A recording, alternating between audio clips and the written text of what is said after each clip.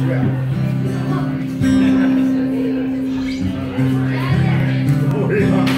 getting in your head, dude? Look at that wire duck. Get out of that shit.